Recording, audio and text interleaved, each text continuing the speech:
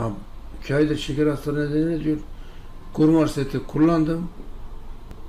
Tip 1'den tip 2'ye döndü diyor. Kurmar setiyle tip 1'den tip 2'ye dönmüş.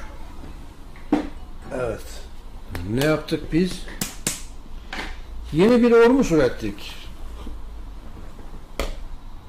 Orme krom. Krom pikolinat. Krom pikolinat içerir. Farklı bir ormus bu. Şeker hastaları için özel.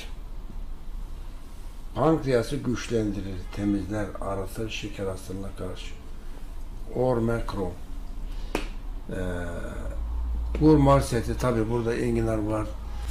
Zencemay var, meşemix var vesaire vesaire 11 çeşit ürün var. Düzenli kullanmış. Şeker tip 1'den kurtulmuş. Tip 1.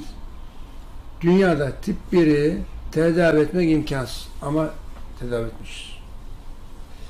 Gurmar Harvard Üniversitesi Tıp Fakültesi 7 yıl diyabete karşı etkili olduğu söylenen bitkileri inceledikten sonra bu gurmarın içerisinde bir etken madde buldular. Cinnamik asit.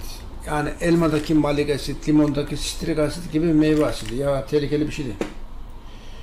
Bu cinnamik asit pankreastaki beta hücrelerini canlandırıyor. Güçlendiriyor.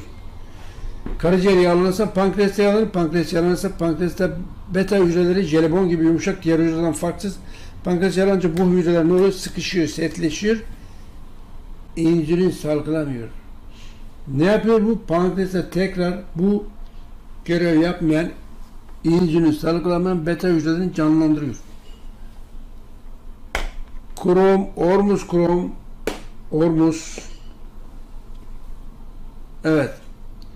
Muazzam bir ürün ürettik hamdolsun. Tip 1 diyabet hastasının dünyada tedavisi yok. Onu da başardık hamdolsun.